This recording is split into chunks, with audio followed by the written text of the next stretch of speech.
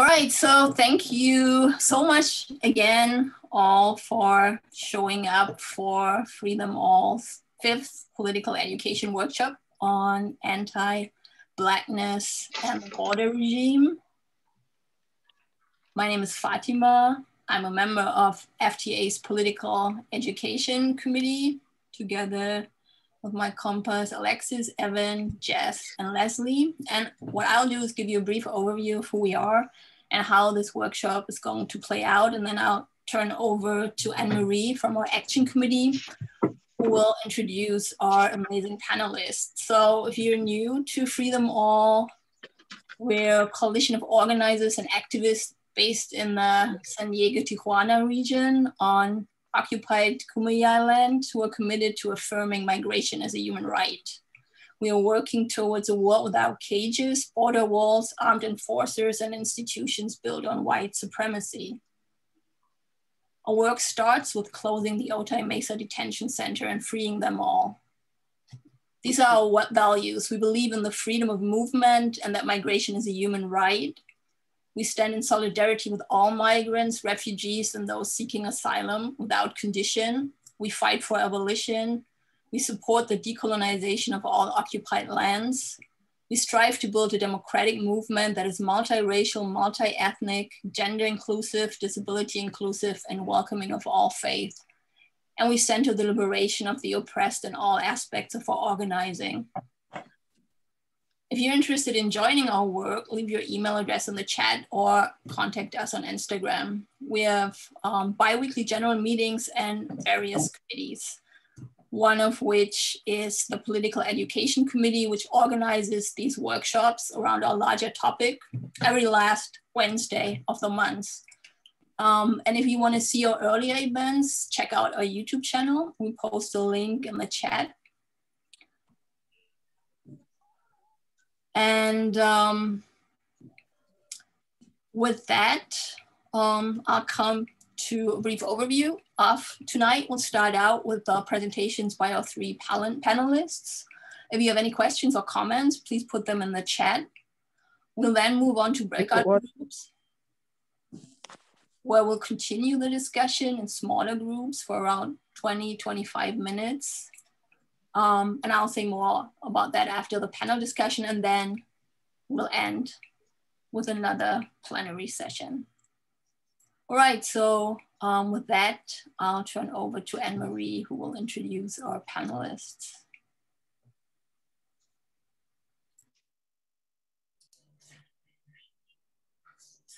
Hello, hello everyone.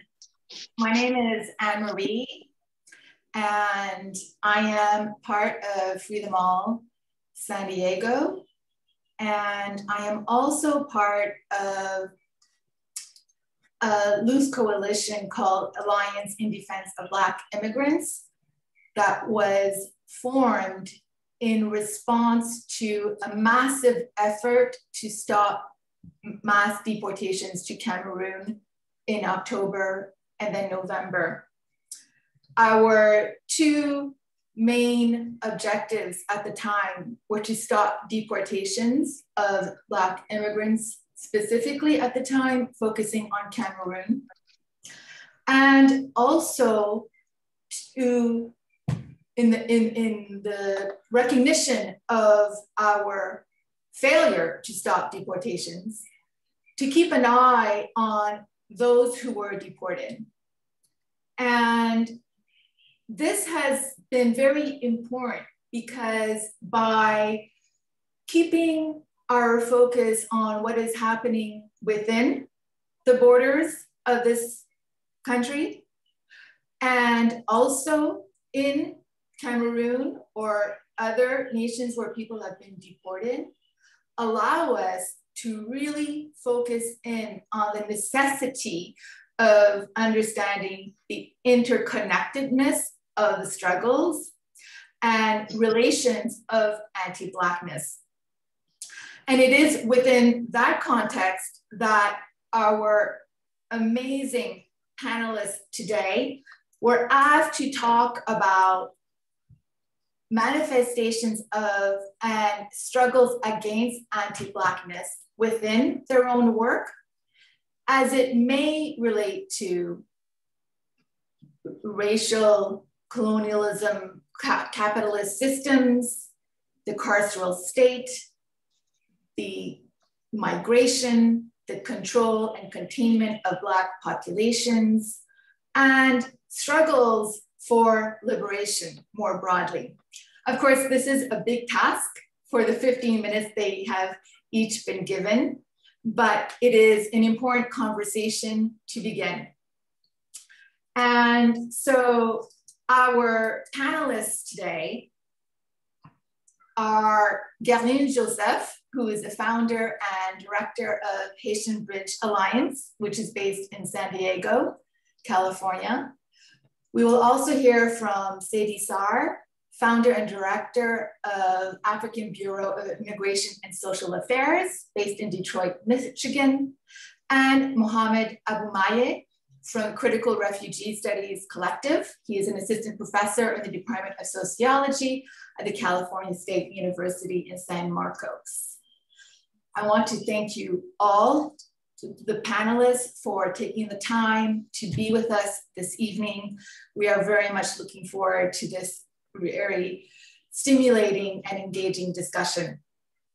We begin this evening by hearing from Mohamed Abumaye, and I will briefly provide an overview of his work, which centers on the intersections between military and police violence. He investigates the San Diego Police Department's unit of counterterrorism and US military drone attacks in Somalia as a transnational circuit of violence that shapes the Somali refugee flight. What distinguishes his project from other works on police is that he focuses on the militarized aspects of policing and does so with an emphasis on the refugee. He centers the role of Somali youth activists in exposing the relationship between US militarism in Somalia and hyper policing in City Heights, a neighborhood of San Diego. Mohamed's work interrogates City Heights as a trans-local space by interweaving the field of Black studies, critical refugee studies, and carceral studies. Thank you so much, Mohamed. Welcome. Yeah, thank you for the lovely introduction. I'll uh, keep this brief. Um, you know, a lot of my work deals with uh, not just the issues of immigration, but also more uh, specifically the relationship between anti-Blackness and Islamophobia, looking at really the Somali refugee community in San Diego as, as a case and a site. And I really can't talk about, you know, the work that I've been doing without referencing the Black Freedom Summer that happened in the summer of 2020 in terms of the uh, Black Lives Matter movement and the protests, which had a profound impact on the Somali refugee community. Um, I was actually uh, able to attend some of the protests in City Heights, uh, uh, some of the car caravans. And it is really through this, uh, being a part of these protests that I saw, you know, at the forefront of these protests is organizing young Somalis, young Somali refugees, high school students, right? Um, really being politicized in this particular moment um, and really mobilizing a politics that centers on police abolition.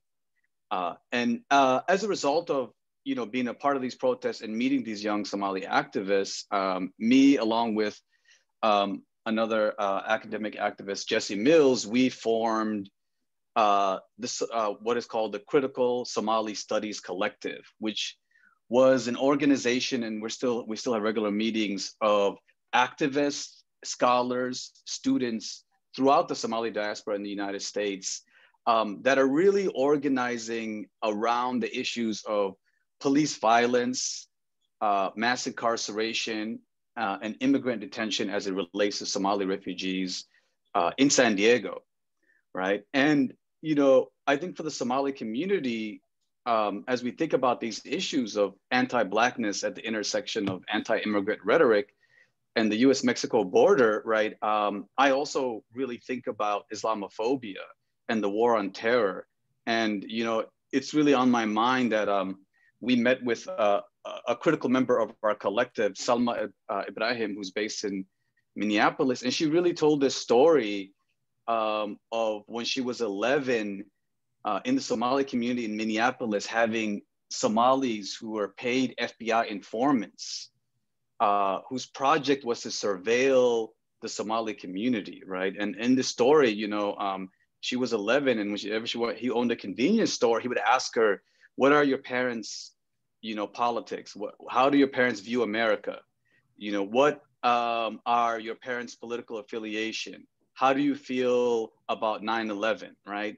And really trying to use, you know, these children as a way to get at their parents, right? And and I, you know, I tell this story and the story that she told, right, as a way to sort of highlight, uh, right, the extreme levels of surveillance that Somali refugee community has been in this country since 9-11 right? And again she tells another story of being 17 um, and being approached by an fbi agent saying hey you know we can help you with your schooling. We can offer you money.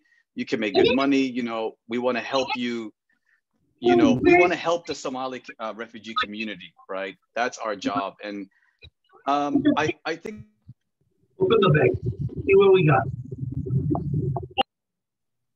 Sorry, been muted. Um, you know, I, I, think thinking of that story and thinking about that particular story of surveillance really um, underpins, you know, for the community and for the activists, the level, the tremendous levels of state intervention into Somali life, right? That in one precedes Somali's uh, arrival even to the United States, right? And that to think of the issue of Black immigration and what it means to be a Black immigrant right, and refugee, one has to think about the context of what was happening in Africa at that time, right? Um, a, a, a lar- the largest number of African immigrants to the United States came in the mid 1990s, early 1990s, right? And the reason for that is multifaceted, but mostly civil wars and unrest that was happening in Africa. And in Somalia in particular, that was a result of US imperialism. That was a result of you know, the US military came to us before we came here, right? The 1993 US military invasion of Somalia, right? Um, and again, this history of using paid informants to surveil, infiltrate the Somali community, right, goes as far back as the Cold War, right? The US military using informants uh, to destabilize Somali politics, the Somali government, and Somali resist, resistance. So all of that really came together in the summer of 2020 when I saw these young Somali activists that, that we work with and that we mentor and that we learn from as part of our Critical Somali Studies Collective is that they, they have been simultaneously organizing around the issues of Somalis who are deported for being suspected of providing material aid to terrorism, which basically means if you send any money back home to Somalia, the FBI, right, and the and, and the U.S. military, as well as you know the Department of Homeland Defense, can say you are supporting terrorism and deport you, right, uh, as well as right the heightened levels of police surveillance that the Somali community is undergoing in City Heights, San Diego, where a, a, large number of, of the Somali community lives in, right? So you have sort of this police surveillance that is happening you have the surveillance that is happening through the war on terror and the joint terrorism task force in San Diego, right? And you also have Somalis living at the intersection of a militarized border, the US Mexico border, where there is already very heightened anti immigrant sentiments and policies. And so, for these youth activists that I work with, the ways in which they see anti Blackness, for them, anti Blackness is deeply intertwined with Islamophobia and anti-immigrant sentiments, right? And that for these activists that they are organizing uh, not just a local resistance movement through the Black Lives Matter movement, but really a global movement to argue that the devaluation and violence against Black people and the Black diaspora is a global phenomenon, right? That doesn't just manifest in police murders of Black people in the United States, but US military drone strikes in Somalia, right, that manifest through immigrant detention uh, uh, in terms of uh, Black immigrants, police violence against Black people in Brazil, right, uh, being a sig significant marker of right? How we think about the Black diaspora. But what is really fascinating in terms of the work that I do with these activists is that their resistance and how they organize is multifaceted and transnational, right? And so as part of this organization, many of these youth activists in San Diego are linked with uh, Somali youth activists in Somalia that are organizing around the issues of US military bases and sort of the, the US military drone strikes that have actually accelerated under you know, Obama and Trump and is really a, a, significant threat to Somali life. And so what has emerged is this transnational uh, Black resistance movement that is still centered on sort of local politics, right? Understanding uh, uh, the San Diego community um, as well. And so, you know, in terms of uh, the work that I do with them in my own work, I think, you know, engaging, we meet every Wednesday um, and it's part political education that we have and it's part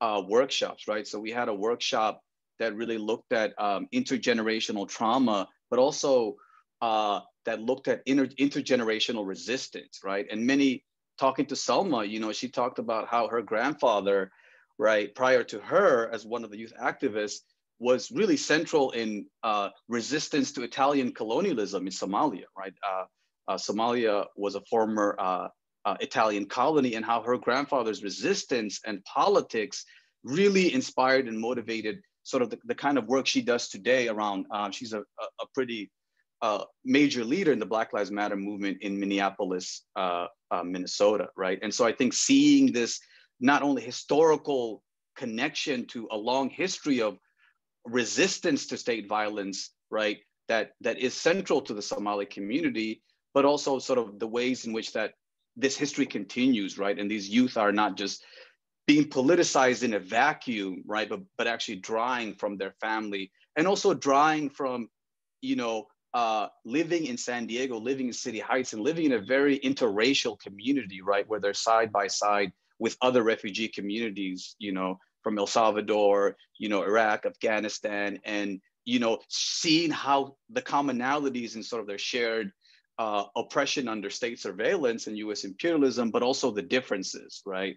And and and how to mobilize and organize together across those differences and shared experiences as well. So I think it was a really exciting moment where I think at at at one point one could see tremendous apathy in the constant circulation of Black death with George Floyd that we've seen, but also tremendous hope uh, in the sense of you know, this Black resistance movement where the protests that we saw, right, and talking to the activists weren't just taking place in the United States, but, you know, you had protests for George Floyd happening in France and the UK and all over the world, right? And I think that's a really exciting uh, possibility for how we can, you know, really organize and and think of think of resistance uh, in this particular in, in this particular moment. And I think one thing that um, one of the protests that I, I, went to that was organized by a local Black Lives Matter chapter in San Diego that was really exciting in this moment was um, we were part of a car caravan. We were, we were visiting sites in which you know Black life has been under assault or devalued, right? So going to uh, uh, the det immigrant detention center, you know, going to City Heights, going to spaces where Black folks have been assaulted by the police. But also one of the sites that we went to was uh, a site that represented uh, a, murder of a uh, uh, of a Somali woman, right, um, who was murdered by her uh, her husband, right, and sort of arguing that this particular you know gendered form of violence is also central to sort of how we think about Black Lives Matter and how we think about violence uh, uh, against Black bodies and resistance to it as well. And so, you know, this kind of work that I've been doing with these activists, you know, we plan to um, uh, create a series of oral history projects and workshops.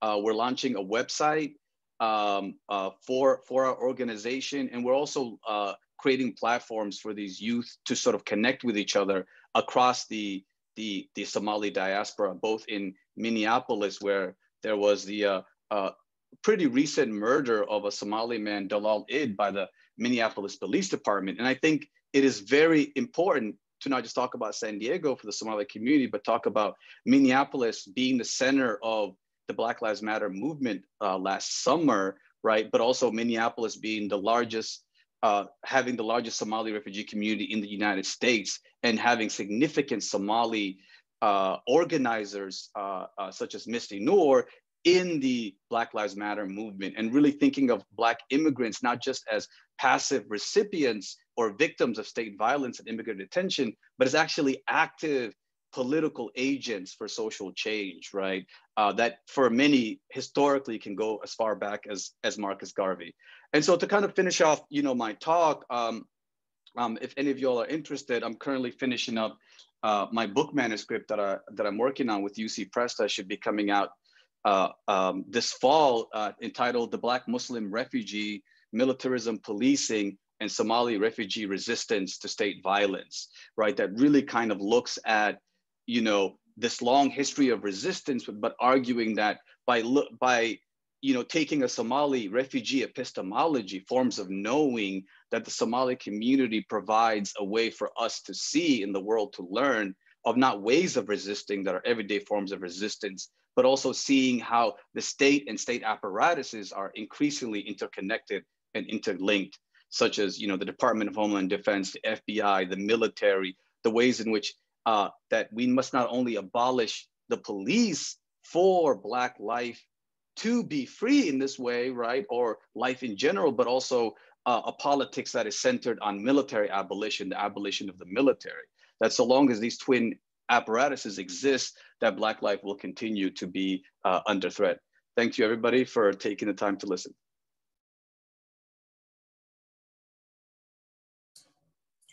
Thank you so much, Mohamed. That was incredibly important, powerful, and insightful, and really addresses exactly what we are trying to accomplish in this session. And there is so much I would like to engage with you right now, but uh, we're going to have time for that. So to all the participants who are here, please keep in mind your questions, you can put them in the chat, but we will also have an opportunity to break out and have smaller discussion and then reconvene. I will now turn to our second speaker, who I have had the honor and pleasure of working with very closely in the last several months. And this is Guerline Jozef, who is the founder and executive director of the Haitian Bridge Alliance, which assists thousands of Haitians and other migrants who have endured treacherous journeys from their home country to across South Africa, uh, sorry, South America, to make it to the US Mexico border.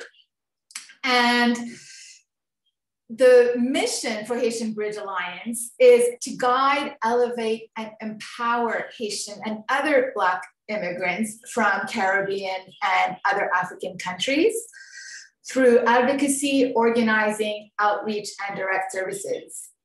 Lynn has produced or created an information tool called Tales from the US, US Mexico Borderlands and Beyond, which focuses on Black immigrants at the borderlands. And this has been extremely important in terms of challenging this pervasive erasure of Black immigration and immigration being a Black issue. So with that, there's much more that can be said about Guerline's work, but I would like to hear her speak instead. So I will turn it to you, Guerline. Thank you so much for being here. Thank you so much, uh, Anne-Marie. Merci beaucoup. Thank you so much, Professor Abumaye. Thank you for uh, uplifting the voice of our Somalis brothers and sisters, so, so needed. Too often, right, as Anne-Marie mentioned, we are erased, silenced, and, and, and not being able to really uh, be present even when we lead the movement. So thank you so much for sharing uh, the plight of the Somali community. Um, thank you again for having me, uh, Guerline Jozef Haitian Bridge Alliance.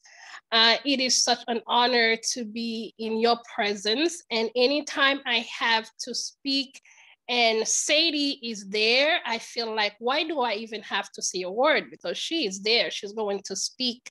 Um, Seydi is my sister, my partner, my 2 a.m. call. Um, and together we have uh, a launch and created the Black Immigrants Bail Fund, Juneteenth of last year, specifically to be able to answer to the needs of Black immigrants who find themselves caged imprisoned uh, in these United States of ours, given $50,000 plus bond. So she and I uh, just got tired and we created the Black Immigrants Bail Fund. And also um, a, a one of a part of the in defense of black immigrants uh, uh, as anne-marie mentioned that is a group that came together uh, to, to, to support our cameroonian brothers and sisters who were in dire needs uh, last year. So it, it is an honor uh, to be here with so many people who have been in the fight with us and for us for a very long time um, I can just quickly share for, for folks who are new to what's happening at the border, especially because, you know, we are um, headquartered in, in, in uh, San Diego, understanding the relationship of the border cities, San Diego and Tijuana, right? understanding that Tijuana uh, is one of the main port of entries for asylum seekers into the United States. And now when we hear about the crisis at the border and we see all of those videos and we see uh, uh, Ted Cruz uh, whispering because he's having this, this, this, this, you know, this montage as if something just happened at the border. The reality is Black migrants have been at the border since 2015. And I will repeat that. Black migrants have been at the border since 2015. And we saw how things progressed when it was only Black migrants to when having the idea that we have this massive invasion at the border right? And we see it on the news. And uh, in 20 in 2018 president trump tweeted and everybody started screaming family separation! How can we allow this to happen? But what people do not understand is that family separation have been happening at the border since 2016 because when we see black migrants come and ask for asylum and in very rare very rare uh, uh, uh, um, you know time when a pregnant woman or a, a woman and a child might be released, 99% of the time, the father will be caged, imprisoned, and deported. And now we see in San Diego a community of Haitians, single mothers with children, whose partners, husbands, fathers have been ripped from them. So when we talk about family separation, we have to look at all of these as well. Go back to Haiti. Um, I know some people might not understand the history of Haiti in the West. I can go back briefly to give a 200 plus year history between the United States and Haiti. Um, we all know that the United States is the first country in the Americas as far as winning their freedom and what's not. But did we know that Haiti, right after the United States, became the first country, Black country, who fought one of the biggest armies of the time, the French army, and literally won independence. Wasn't given to them, wasn't passed to them. They fought and they won.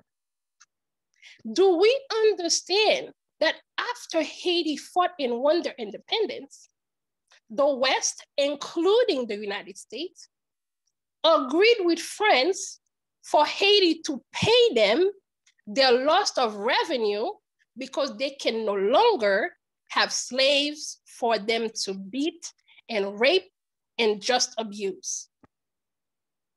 And do we know for close to 50 years, the United States refused to recognize Haiti as a country, as an independent country, as a partner for fear that if the slaves in Americas really understand that they too can get their freedom, business will collapse. So therefore, it was necessary for Haiti to become a poor country. And so I want people to understand the first thing we hear about Haiti is a whole poor country. How did one of the richest colonies of the time become one of the poorest countries in the eh, hemisphere? The answer is simple. It was systematic violence that created the poverty that we see today. As my sister say, by design. And the fact that we see today, Haiti is in the middle of a political uprising. And people might see on the internet hashtag free Haiti.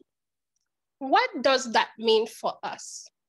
It means free Haiti from internal violence and from external violence. The internal violence that we hear on the news, we see the pictures, yet we never see the reality on the ground. And the external violence that are indeed the cause of the internal violence. So as we talk about immigration, as we talk about anti-Blackness, as we now in the middle of, of, of, of, of George Floyd's murder, and we see people are using as if George Floyd is the one on, in, in, on trial. And for me, when last year happened, for the first eight days, I couldn't bring myself to watch that video. Because the moment I heard it, I couldn't stop thinking it could have been me. And when we see what just happened in Atlanta, and we stand in solidarity with our brothers and sisters within the AAPI community understanding that person, the murderer who killed all of these people, had the time to not only attack one salon, one property, but three. Not only he had the time to do that, he had the time to flee and was caught hundreds of miles away. But when it was George Floyd, for a $20 that was presumed to be fake, George Floyd does not know how to make money. If in fact that $20 was a fake $20 bill, somebody gave it to him. How do we know he didn't get it from the gas station? How do we know that somebody just donated to him? Yet he was murdered within feet from that property. He was not allowed to step a couple of feet from where he was accused. And so after eight days and, and, and during that time we're in the midst of deportations, right? Um, I finally was able to watch that video. And it was really painful to see this officer with his knee on the man's neck for eight minutes. And I was transported to a hospital room in New York, watching Abner Louima on the bed after he was sodomized by so many police officers in New York City. I watched him as a young girl on that bed. Nobody knew he was going to make it. That was my first experience with police brutality. Then I remembered Amadou Diallo in the Bronx that was shot 15, 20 times holding his wallet. So when we see those things happening, when we see anti-Blackness, If you're a Black person, it doesn't matter if you're Seydi from Senegal, if you're Mohamed from Somalia, if you're Guerline from Haiti, or if you are an American descendant of slaves. If you are in this Black body, that's all they see. That's all that matters. They don't care.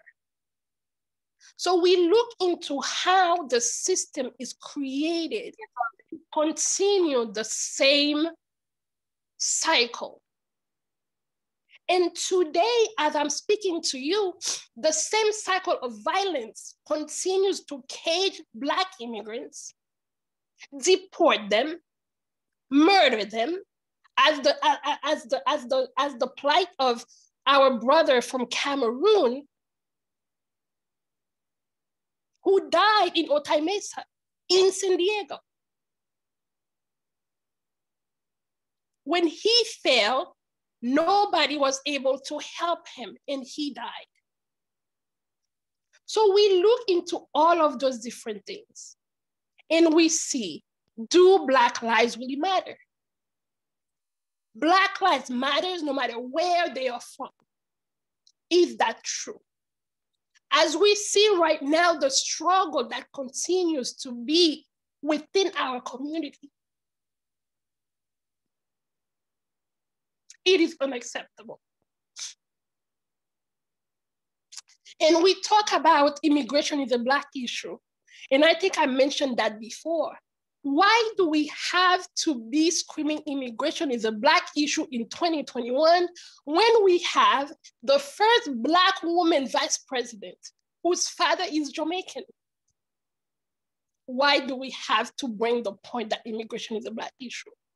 When we had the first Black man president whose father was, was, was, was a, a, a, an African immigrant, yet we have to still waving the flag that we exist. So we see every day,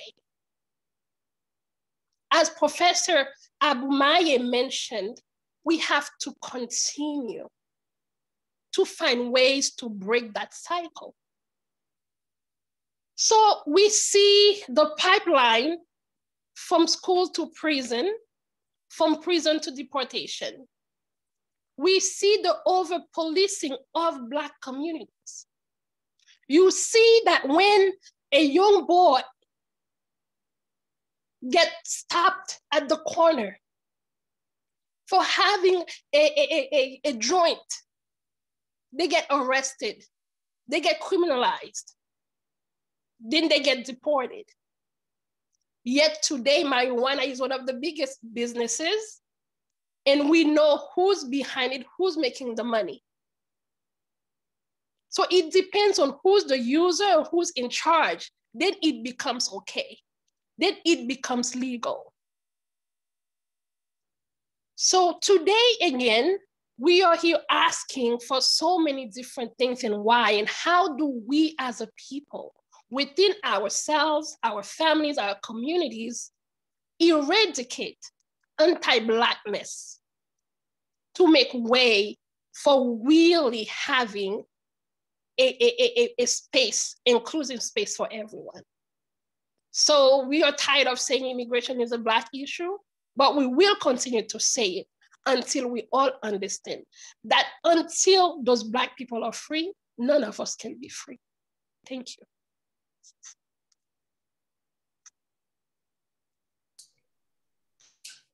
Thank you so very much, Guerline, for an incredibly illuminating and incisive critique of the US imperialist carceral state, but also in terms of making sure that we push ourselves to have a better, deeper, and historical understanding of issues that may appear to be new within the last few years, whether it be around family separation, and particularly as how that is part of far longer histories of anti-Blackness. And again, challenging the stereotype of Haiti as a poor country. I really appreciated your talking about the impoverishment of Haiti. And at the same time, looking at, in the same way as Mohamed did, is how we can draw inspiration from the struggles of the people who are directly affected, their ongoing fight for liberation. So with that, again, thank you so much, Gavin, and I will turn it to Seydi Sarr. Sadie is a lifelong social justice activist uh, and human rights activist. She's a curator of equitable practices through lived experiences. She's a founder and director of African Bureau of Immigration and Social Affairs. She is a Senegalese native, a graduate of Wayne State University of Social Work and Marygrove School of Social Justice. Her passion for social equity drives from her commitment to advocacy at the intersections of racial, immigration, socioeconomy, religious, and gender issues.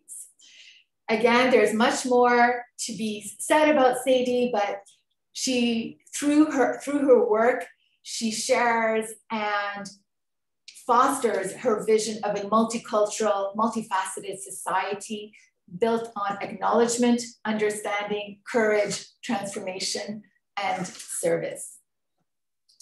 Salam, Seydi. Thank you so much for being here. Alaikum, Anne-Marie. Uh, thank you for uh, thank you for having me, and uh, um, thank you, Mohamed, mashallah, um, for setting the ground for this conversation and enlightening us on the idea of what Islamophobia look like. Um, and highlighting the conversation of being heavily policed, but being also heavily infiltrated. Because here, the Somali community, community here in Michigan, we have seen that the same exact stories with my family, my Somali family here, where their sons were being asked for information um, in the community in exchange of maybe helping him bring his spouse who was still stuck in the refugee camp. And um, I cannot thank Guerline enough for um, highlighting what we know historically and um, putting a timeline on what she has been a witness at the border, you know, when she was the only one crossing and trying to feed thousands and thousands of families. And there was nobody that was interested. There was no lawyers, there was no humanitarian help, there was no TV, there was nobody. As she said, those who was there and stuck there in 15 was Black. And the other thing is that um, it is funny to me the fact that everywhere on the continent that you can be, whether it is in Senegal, whether it is in Mali, whether it is in South Africa, in Ghana, there is not a space in the continent that you would go to visit and you would not meet a white man whether they are from France, from England, from USA. You see them across the world. They have the means economically to travel. They can get up and buy a ticket and go. Most of the time, if they are from the wealthiest country of the West, that's mean they barely don't have to pay a visa. So they don't have to go to no embassy. They don't have to say, hey, I need a visa. They don't have to explain why do they have to travel. All what they need to do is pick up their backpack and leave. However, when Black people move, the movement of Black people is seen, is categorized, is counted, is limited, is hindered. So when you see Black people moving across the globe, it's become an invasion. So movement in our ideology, we accept that free movement, traveling, being able to say, hey, I have curiosity, let me see, go see La Tour de Pise, is only allowed if your color is not the skin of mine, the skin I have. But if your skin look like mine, you have to explain, you have to prove, you have to be dehumanized in the process of saying, well, I am very curious, right, to see what the status of liberty look like, what Ellis Islands might have been. I have that curiosity just to be able to be like, oh my God, I wanna, you know, I wanna see this. And that have not started today. When my ancestors was chained and brought into this country, it had to serve a purpose. So when it is for the purpose of free labor, it is a purpose of dehumanizing and enslavement. Nobody asked any Black person where they come from. Did they speak English? Could they read or write? That was nobody's interest. The interest was can they make the journey? And would they be able to live long enough to produce for somebody else? There was no question about a visa being asked. Now, Darlene talked about the separation and the snatching of families. And I will go further because I think there is so many plaza in Louisiana, in Mississippi, in Baton Rouge, that have been the theater of family separation. So it is not yesterday, it is in 2015. It started as soon as Black bodies was brought here by force. So it is in our historical DNA in this country to rip a woman, to rip a child from the breast of their mom. And there was no repercussion. So for us Black immigrant today, is to witness the cries, the pain of Black families being ripped away and nobody having a ah moment. So when my families have tears, their tears don't have the same effect on us. It doesn't move us the same. It doesn't tell us that something is wrong and we should be angered. It doesn't tell us that we should stop and pay attention.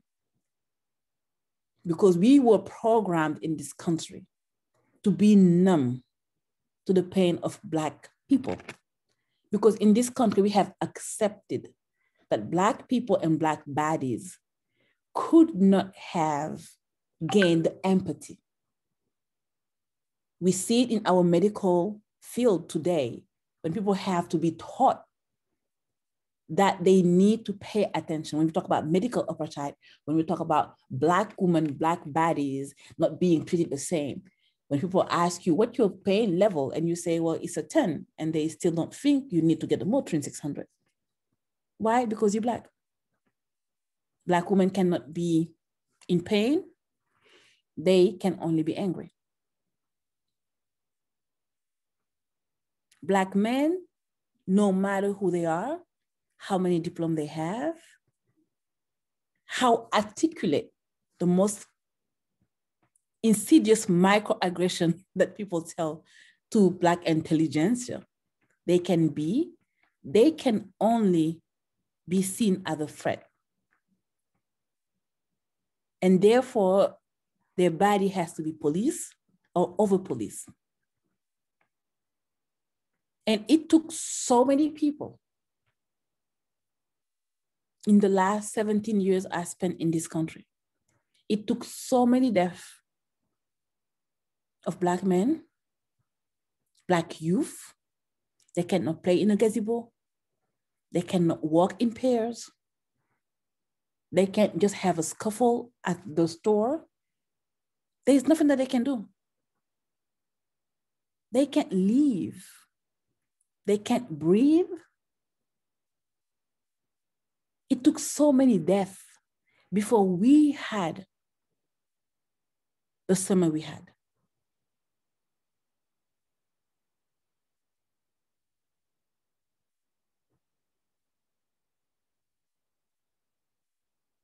The death of George Floyd moved something across so many people. It touched so many hearts.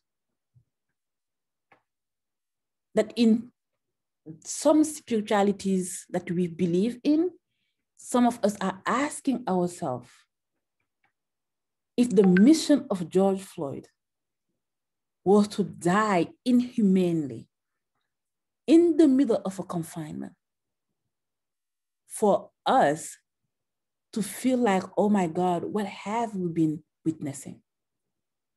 How can have we turn our eyes out and don't pay attention? So for me as a Black immigrant, Muslim woman, working here in the United States is requiring me every day to ask myself, what part of my identity today is going to be on trial? Is it because I'm a woman? Is it because I'm a Black woman? Is it because I am an immigrant? Is it because I'm Muslim? So there is not a day that I have to catch peace because if one part of my identity is not an issue, the other one surely will.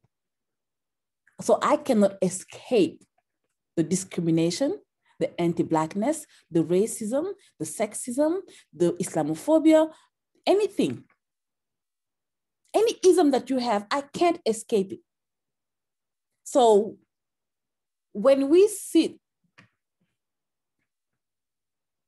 and have to witness over and over again simple acts of life being criminalized, Simple things such as driving a car.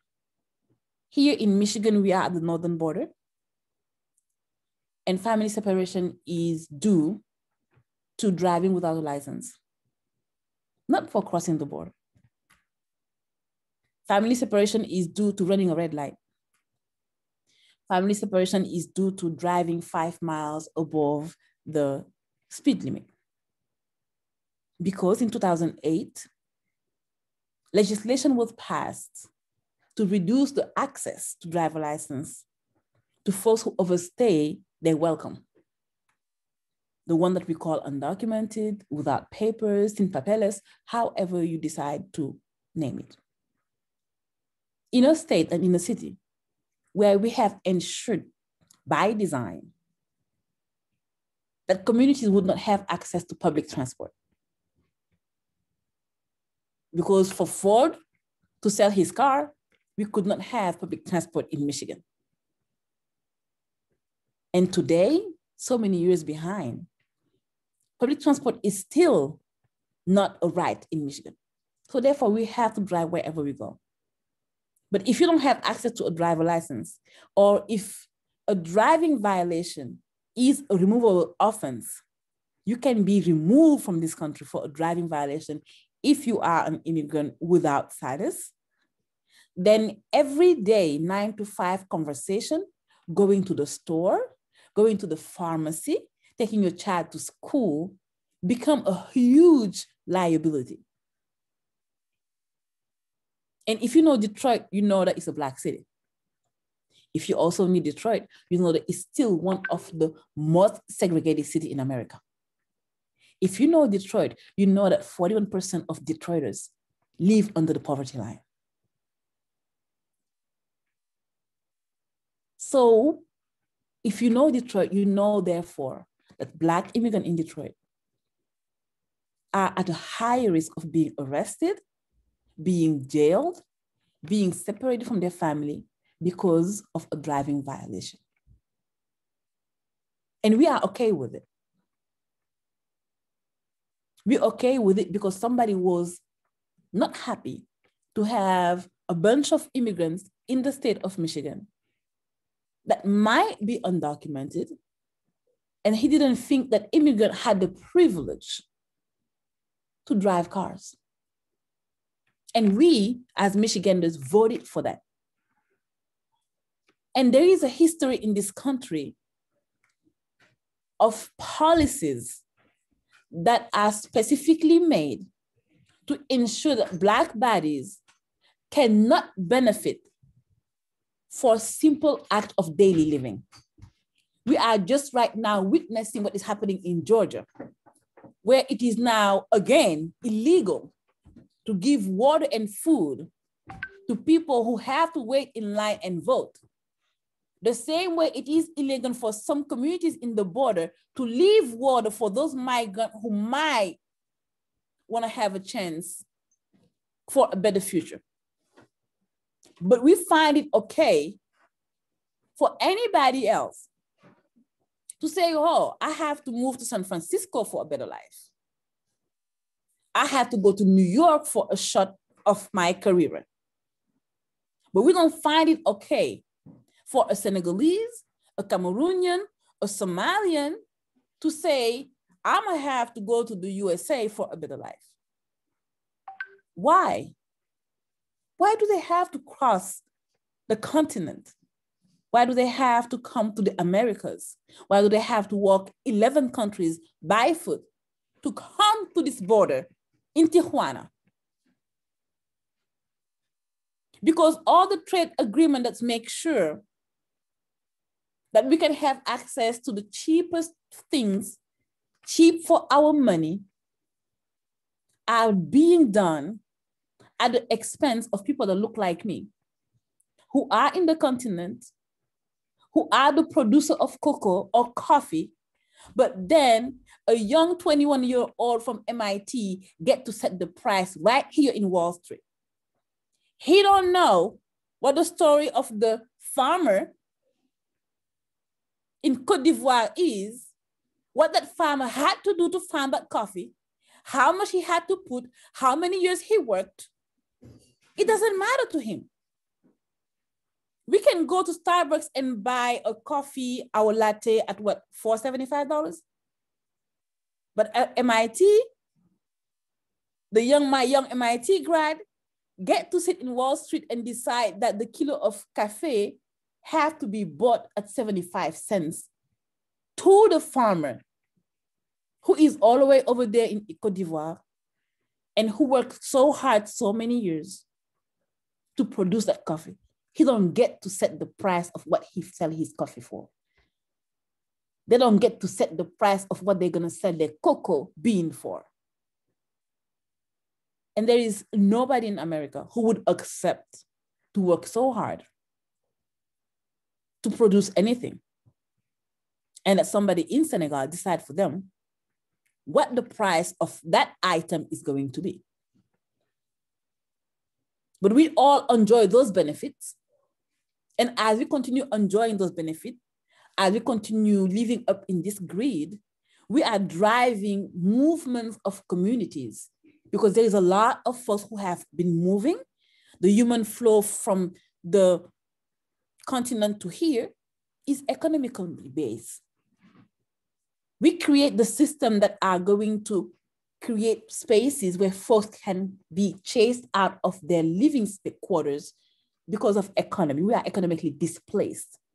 And when now we aggregate, we, the United States of America, are aggregating all the wealth within the walls of the United States, we also get to tell people when they show up in our border for a chance for a better life, that they don't deserve that better life, especially when they are Black. Or they have an accent. And depending of the flavor of the day, like how Guerline have said it earlier, every community gets its time on the salad. And last week, we had to witness our Asian brothers and sisters had to reckon with so much hate and so much pain. But then who are we to cry? When African American have been living in this state, in this country, and have been perpetually aggressed, violented, murdered, hanged, lynched, and that today they lived without sanctuary. Who are we to dare ask sanctuary? So when we show up at the shore of America and ask for sanctuary, there is no idea. There is no dream. There is no visualizing that folks that look like me should be given access to what sanctuary look like.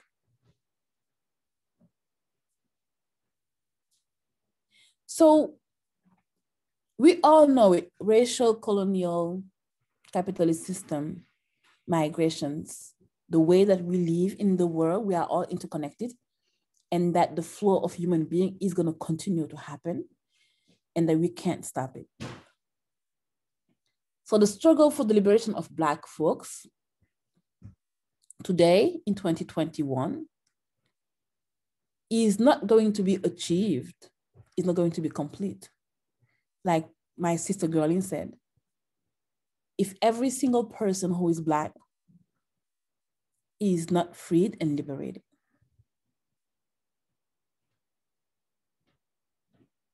So we have to ask ourselves, what would be our responsibility to ensure that Black bodies where we are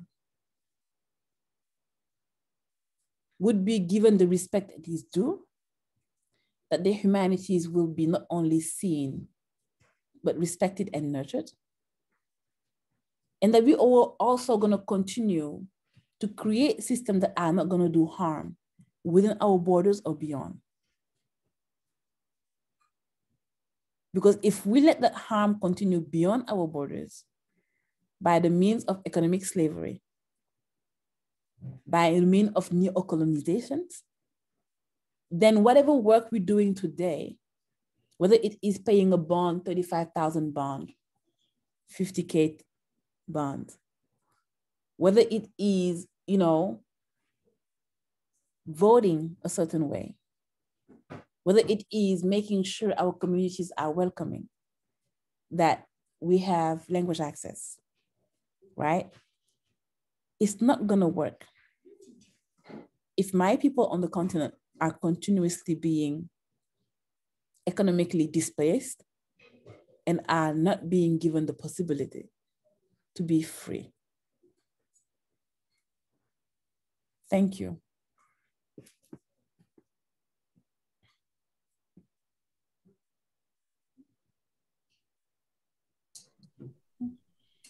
Thank you.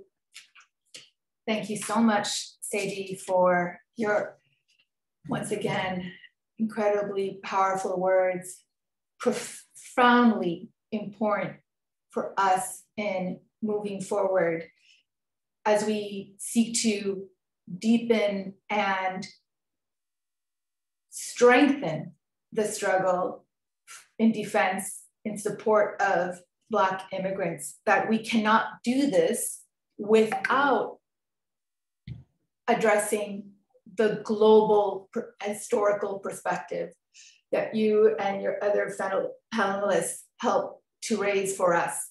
You, Seydi, you, you touch on so many themes, and I am quite amazed on how you have been able to do that in such a short amount of time. And I, I thank you so much. I, I cannot, um, one of the key things that came out for, for me very quickly is how this very much, this whole panel, but Seydi in particular, picks up on a previous workshop we had with Professor Dennis Childs when talking about the importance of recognizing how struggles for racial justice and immigrant justice are tightly intertwined and interwoven and that we cannot see the struggle for immigrant justice without looking at the historical and ongoing criminalization of Black bodies, what he calls the slave ship as the prison ship. When we talk about the disproportionate deportation and detention of Black immigrants, we must put it in context within the carceral system in the United States more generally. And it's in that sense that Free Them All San Diego, while we have a very specific localized goal of shutting down the local detention center, our broader aim and is to first of all always situate our analysis, our struggle within an understanding that we cannot, we cannot fight for freedom and engage in struggle in a genuine, authentic manner without recognizing that we cannot achieve anything without at the same time abolishing the institutions of white supremacy upon which walls, borders, prisons, cages are built on. And remembering that the United States as a white settler colonial state that goes beyond the borders of this country is itself a crime. So with that, again, I cannot thank all of our panelists enough for your words. I am somewhat lacking enough words to express my appreciation and gratitude.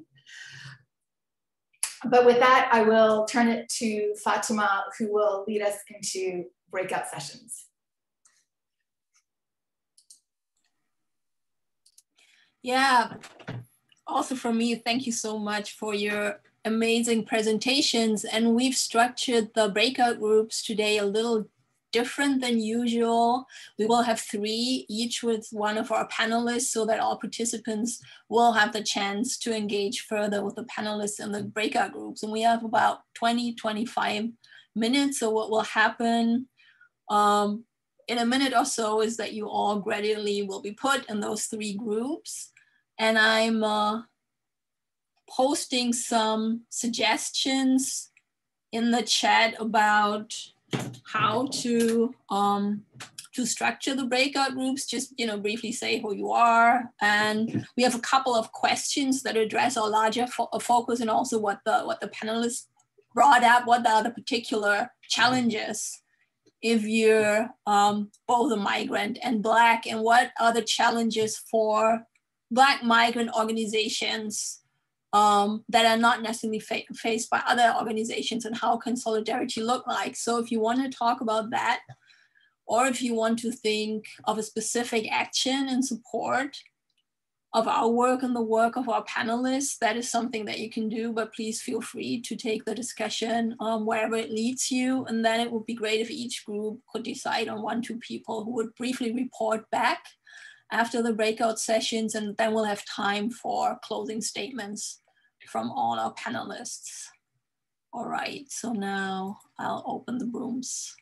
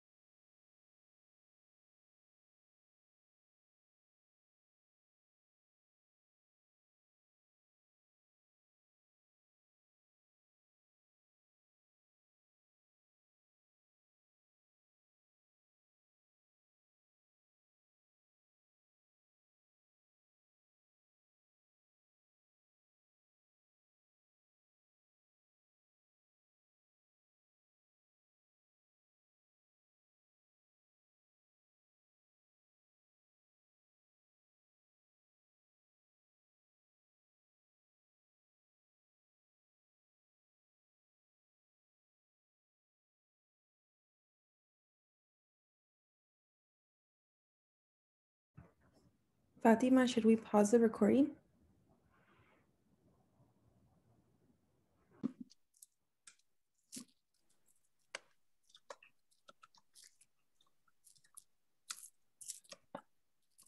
Okay, I think everybody's back from the breakout rooms.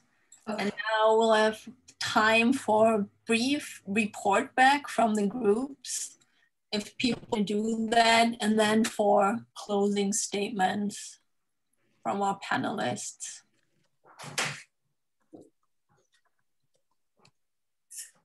I just want to quickly point out that I'm about to post a report from Haitian Bridge Alliance called the Invisible Wall Report on on what is happening in terms of mass deportations of Haitians that's currently in the chat. Okay, so if we can take the next few minutes to hear from the various breakout rooms. Can I have one person from each breakout room? Would, and to make sure we're on track time-wise, would the panelists mind terribly if I would ask each of you to give a brief summary of what happened in your breakout rooms? Not to put any more pressure at all. or if somebody from your respective rooms volunteers. You owe me dinner, so I.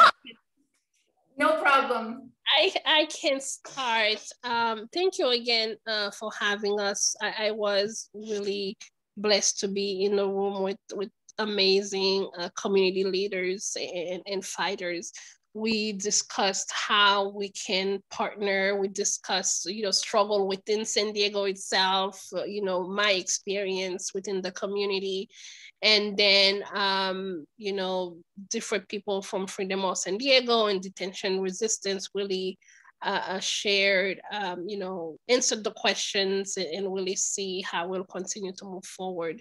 So it really was was um, too short of a time. That's why I don't like breakouts because we don't have enough time to talk about everything. But we really we really look into how we are moving forward. Thank you so much, Guerline.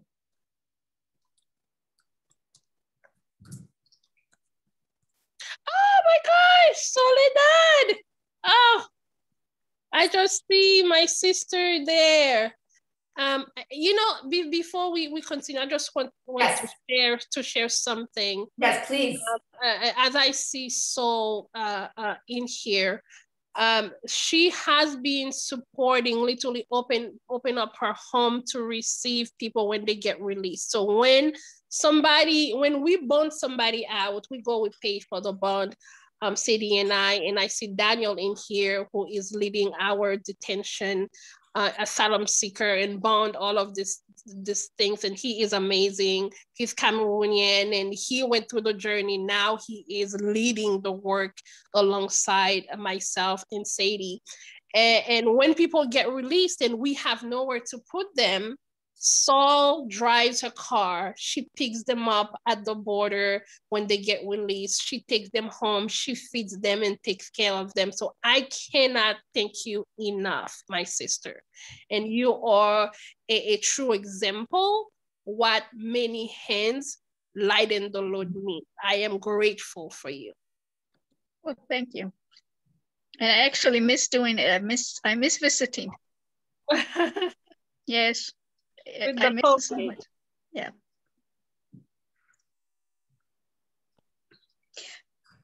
Should Thank I go you. Thank you, So, in the interest of time, so we want to really respect people's time, I'm going to then ask if, while briefly reporting back on what happened to the breakout rooms, if at the same time the panelists can provide a closing statement on, on how, how do we take what happened today, even though we only just scratched the surface, it was still an incredibly important intervention. Where do we go from here? Where would you like us to go? Is that question back to me again? I am, if you don't mind. okay, yes. Where do we go from here? It is where we have never been before. Um, it is, it is how we collectively change the system. Um, I spoke about people at the US Mexico border. And my sister Seydi talked about people leaving home, understanding traveling in these Black bodies to so many different countries. Currently, we have people that are stuck in Panama at that border.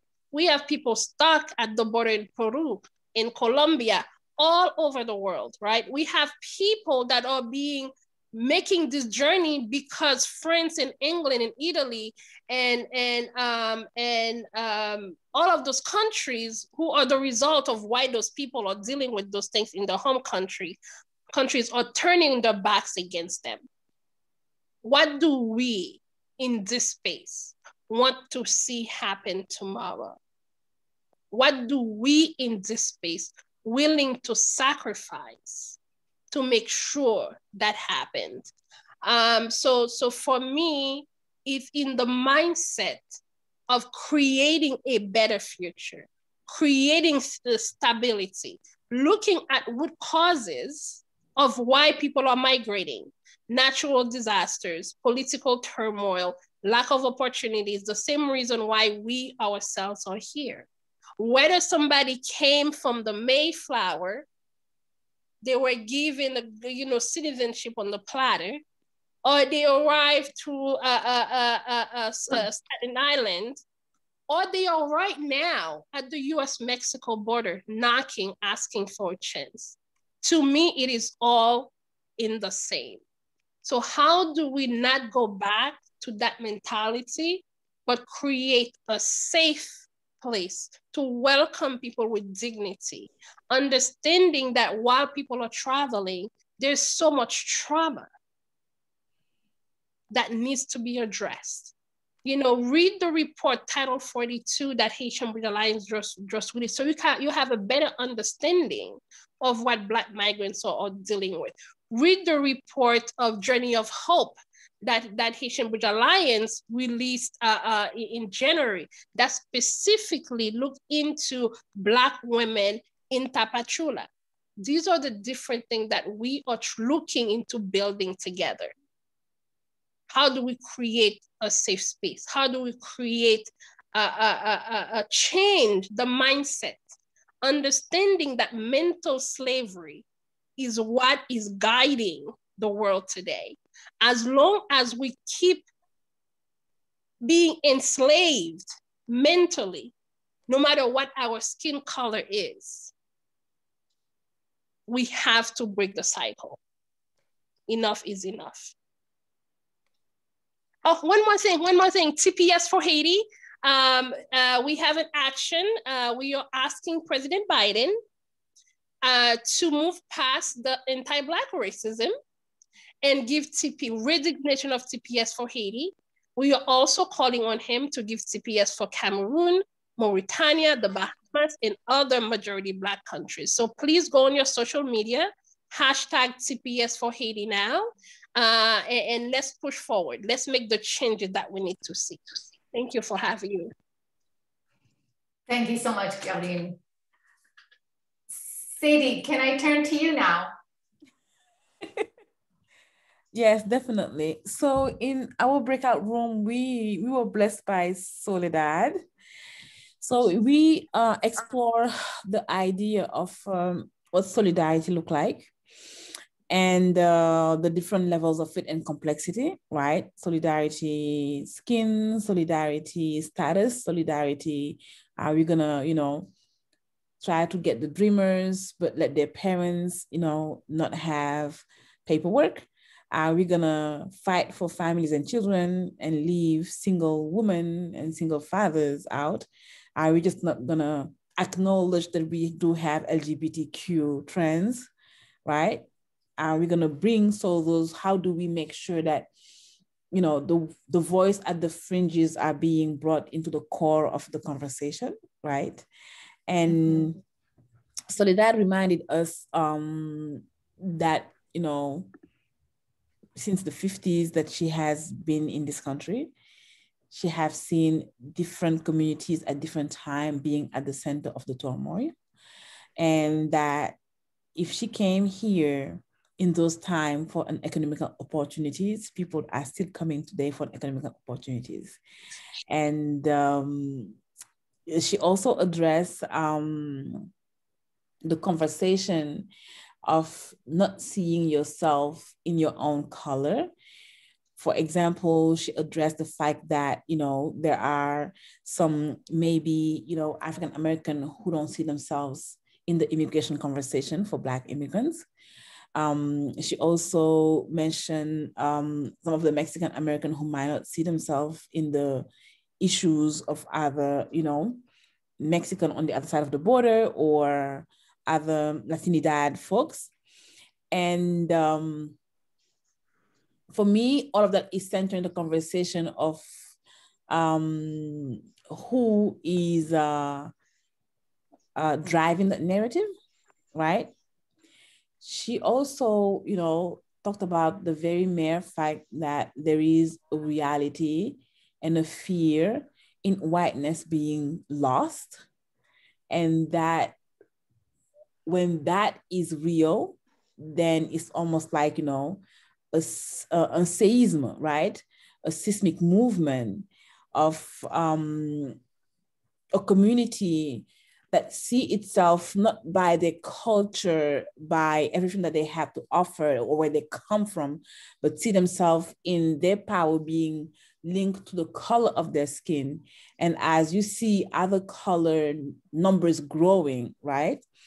Um, that fear of losing your foot, right? Losing it, losing the power because there is so many other people of colors. But you know, in my brain, I was just smiling because I'm sorry, you guys are, if you're white and you're afraid of that, uh, you're already a minority. You know, the global majority is not white. If you come out the walls of the United States, everybody else, you know, by side Europe is not even in Europe, it's not like pure whiteness as we construed it. But for me, I just want to leave us with the idea that it is not pie, right? We have to stop thinking that it's an American pie and that if I have to slice it and slice it and slice it, there's so much, you know, pie that can goes around. So therefore, I rather keep the bigger slice and give crumbs to the other. It is not pie. It's not because Black people are going to be free that anybody else is going to lose their freedom. It's not because women gonna get, you know, a certain pay that some white men are gonna lose their pay, right? It is not because black students gonna have good education in Detroit that any other white student education in the Ivy League is gonna diminish. It is not pie, America. It is not a pie. And that where do we go from here is, you know, for me, can we just accept to not do harm? But in the idea of saying, I am not going to do harm, have the courage to say, I am not going to witness it being done. Because it's not about not doing it. To build peace, you really have to work for it. You don't need to go to war to build peace. But if people go to war and you say, I want peace, but you are not working for peace, there will be no peace. You don't have to engage to war to stop the war. You have to be engaged into really reforming or strengthening the peace that you want. So if we really want freedom all, we really need to be engaged into working for that and not be bystanders. We don't have the right to be bystanders. We never had the right to, but the comfort that we took in being bystander, we really need to get off our asses and understand that that time is gone. And while we are doing that, please refrain from white explaining my pain. Refrain. Because if I am the one being poked, if I am the one being chained, if I am the one being sodomized, if I am the one having my child ripped up away from me, you cannot tell me how it feels. It's truly not. And because you cannot tell me how it feels, you cannot also tell me what would make it feel better. So in the spaces that we work, we need to, you know, understand that in the concept. We still have to work together. Us Black folks are not going to make it without y'all, Black white folks, and anybody else. But as we're working depending of who, you know, when we showed up in solidarity to stop Asian hate, we, you know, made our signs and let them tell us how they wanted to stop Asian hate to happen. We did not tell them this is how it's supposed to happen because we know how it feels. I don't know how it feels. I was not in Atlanta. I'm sure not AAPI. I do have the empathy. I can see the pain, but I cannot tell them how it feels. Definitely not. So, you know, I want to say thank you for creating this space. And for everybody else, right? I'm sure, you know, we are we already understand that Black immigrant-led organizations are not funded properly, that Black immigrant-led work is not centered. So whatever that can be done to amplify that conversation need to be done. Anybody who have any time to offer any space, any skills, any knowledge, somebody who know how to compute, pay, you know, numbers and stuff like that. Two hours a week, 10 hours a week, whatever it is, uplifting folks, anything would help drive this conversation forward. Calling Fatima El Tayeb, Soledad, whoever it is, Anne Marie, and saying, hey, what else can I do? I can push papers, then push papers, right? If you want to commit to calling Biden every day, then call Biden every day, right? If you're going to say every day at 10 a.m., I'm making this call, they're going to hear this voice, then do that. Then do that. Don't say it's nothing, it's something. We just have to be consistent and stay the course. Because if we don't are not consistent and you don't stay the course, we'll be here again. So thank you. Thank you for all my co-panelists. Thank you um, for the folks at the border. You know, thank you for everything that anybody is doing to uplift, to push, right? And to hold ourselves in this contemporary time accountable of what we are seeing, what we're hearing, and what we don't agree on, right? We don't have the right to be bystanders no more.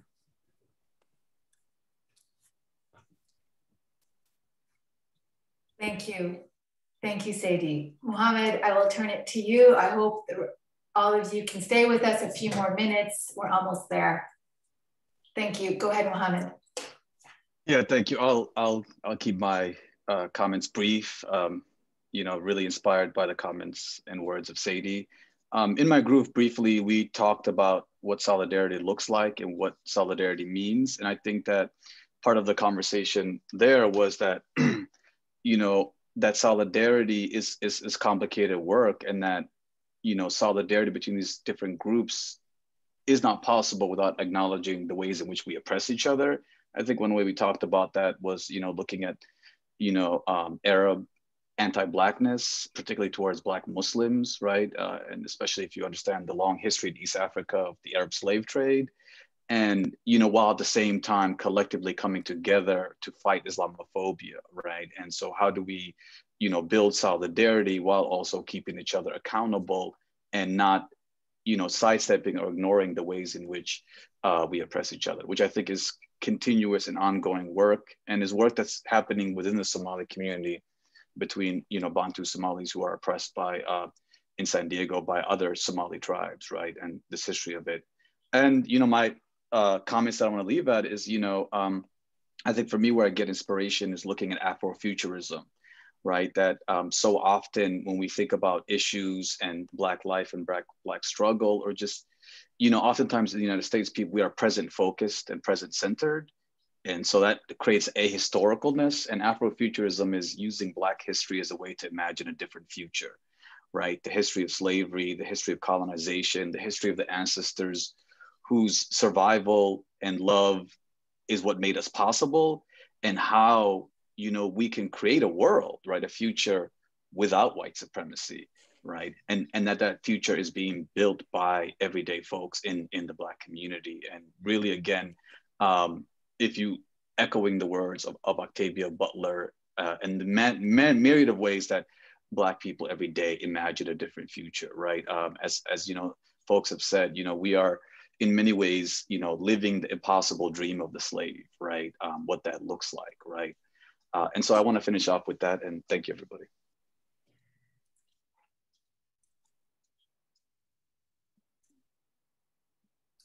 Thank you so much, Mohamed. I'm going to turn it to Fatima.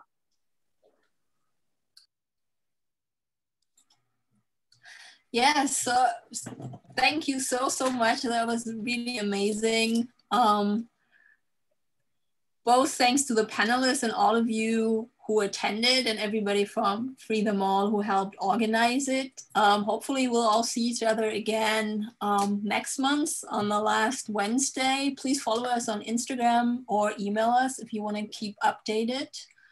And um, there are a couple of links in, um, in the chat, for example, of the Black Immigrants Bail Fund. So if you wanna support any of the people um, you encounter today, please do so. And um, yeah, I think this is it for now. Um, but we'll see each other again in different places and in different connections. And yep, thank you. And goodbye until next time. Thank you so much. Thank you again so much to all of you for being here and the panelists. It was fantastic. Thank you so much. Thank you. Merci beaucoup. Masalama.